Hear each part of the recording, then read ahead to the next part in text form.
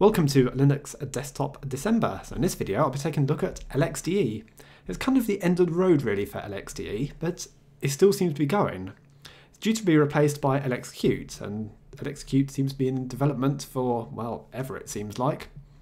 So LXDE is based on GTK2, and it's available for many different Linux distros.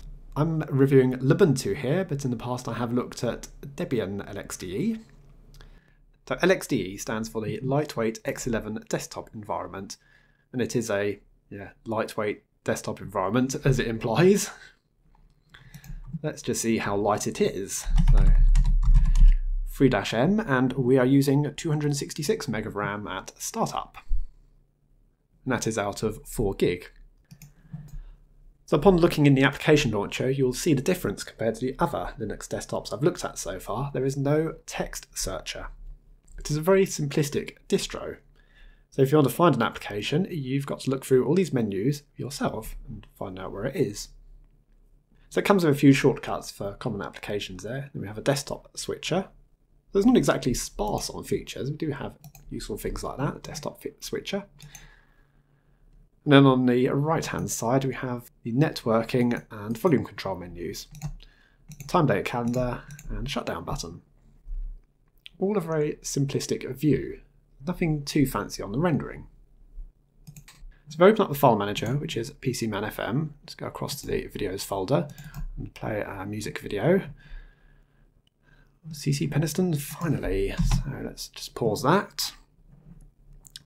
Now we don't have any multimedia integration on the applications, but what we do have is in the bottom right hand side here, we have a menu, multimedia controller here. So I can continue to play and stop that. So opening up a document and let's test out the text editor, LeafPad. It's basic. There's no highlighting on application coding. So PHP file, nothing. Uh, bash script, no, nothing. It's going to make programming in this a little bit harder. I believe that PCManFM does have individual view preferences for each folder, but I can't seem to get that feature working here in Lubuntu.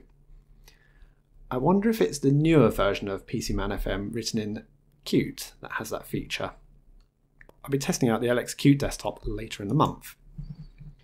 In terms of the desktop customization, so it appears in a couple of different folders this. So this is the appearance of the desktop itself, where we're showing icons on the desktop.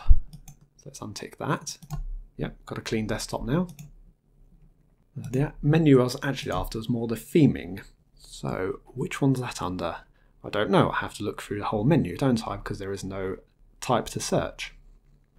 Customize look and feel. I think it's that one. Yes. So there's a few different themes built in yeah, got a bit of control over the look and feel. So let's just put that back to Lubuntu default. So customize the color theme. Yep. The icon theme. That's the mouse controls. Window border. Ah. What have we got here? Anything more? Nightmare. Whoa. Yeah, so let's have a nightmare. Yeah, different. So yeah, quite a lot of themes you can choose from here. So there are customization options for this basic lightweight desktop. I'll open up the browser, which is Firefox. Not very quick to open Firefox, but uh, it's quick to open most other applications.